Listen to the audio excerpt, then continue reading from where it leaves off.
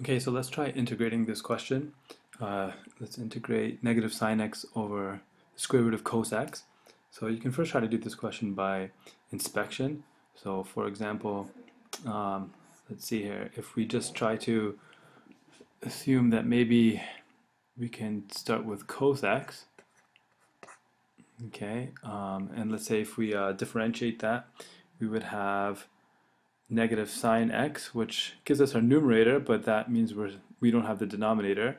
So if we think about it a little bit more, if we take the square root of that, okay, which is equivalent to cos x to the power of 1 half, um, maybe we can see here that this still gives us a problem, but let's say if we had to differentiate this, so let's, let's let that be f of x, um, and if you differentiate that, we would have uh, 1 half, keep this the same, and it becomes negative 1 half. The chain rule inside here uh, would make this negative sine x. Okay, and this isn't too bad. If you notice, this is actually kind of close to what we originally have. Okay, so if we just rewrite this, that would be 1 half um, it would be, we could put the negative from here, sorry, from there to the front, and the numerator would be sine x. And the denominator would be square root of cos x. Okay, so we're close to what we originally had, but we um, have a negative 1 half, and really we needed a negative 1. So what we can do is maybe just manipulate this a little bit by multiplying this by 2, so we're kind of cheating here. So we get a negative 1, which means we would have to multiply everything by 2. So going back all the way up, we can start off with 2 square root cos x, or which is this. Okay, so by inspection, this is what we would get. This would cancel to be negative, uh, 1, because this time this is negative 1, sine x over square root of cos x. Okay, so we just did this by inspection and uh, you can see that it works. Okay, so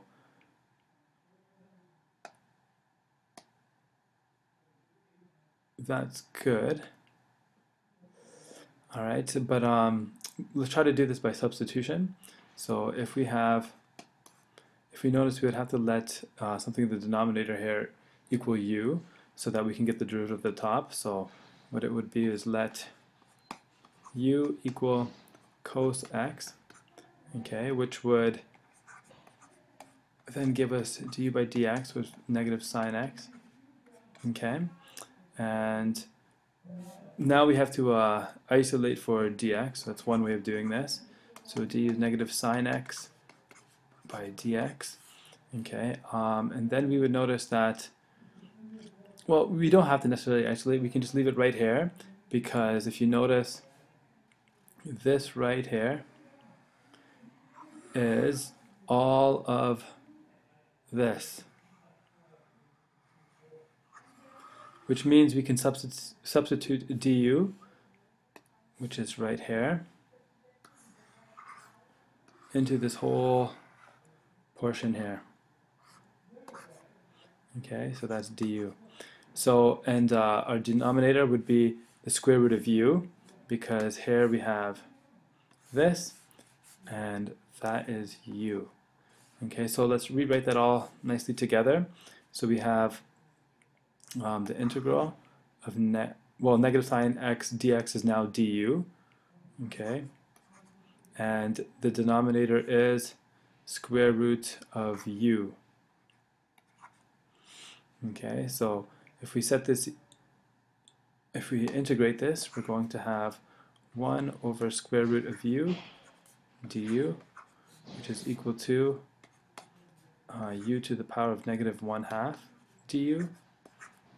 Okay, and integrating this, we will get, um, let's think about this, we have to go backwards here, so uh, 2 u to the power of 1 half plus C. Okay, let's see if that makes sense. So let's go backwards, just check. This time this is uh, 1, and then subtract 1, we get negative 1 half here, so that works out. Okay, and just remember that u is really uh, cos x. So we're going to have 2 cos x to the power of 1 half plus c. Okay, and that's really just the square root of cos x right here. So I'm running out of space, so I'm just going to do it like this. 2 uh, square root of cos x plus c, which matches our original answer. And remember, by inspection here, I should have also included a plus c, but I was just kind of doing this in informally. Okay, so that's that.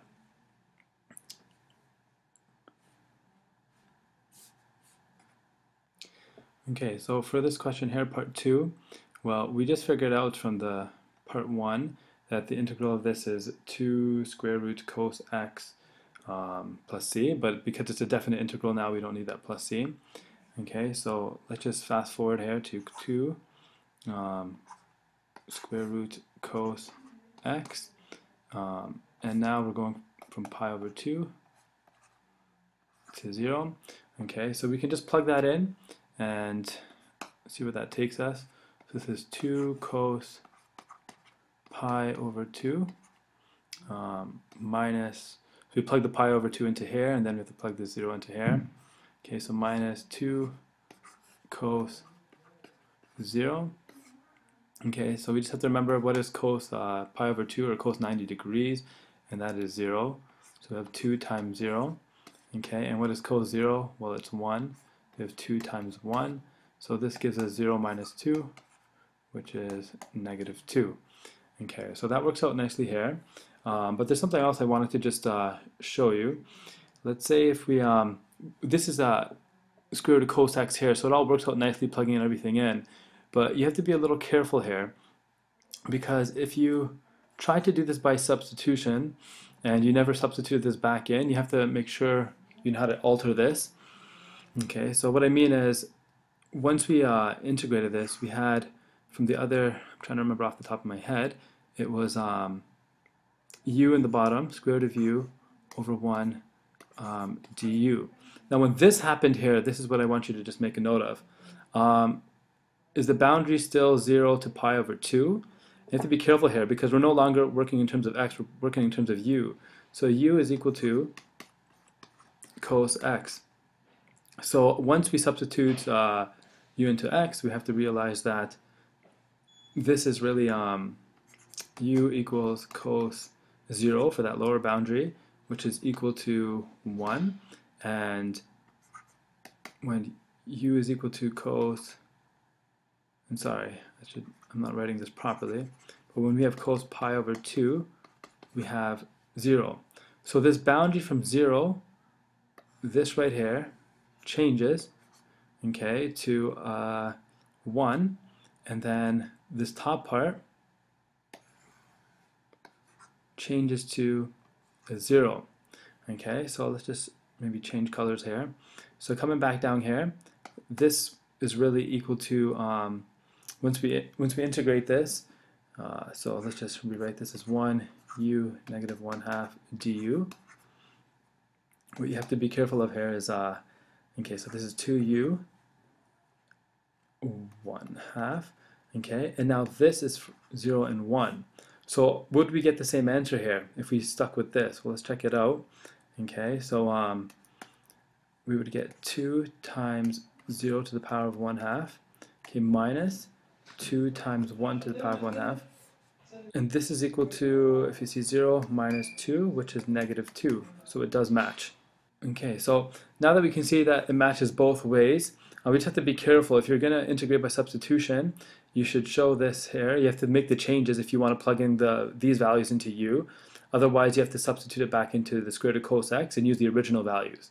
Um, just to make sure you're completely uh, visualizing or understanding this, let's go to uh, a separate screen. And here, Wolfram um, Alpha is really good at showing this, so you can write it in from 0 to pi over 2. You can see the answer is uh, negative 2 like we got and here it is. This is the definite integral, and here's the indefinite integral plus the constant.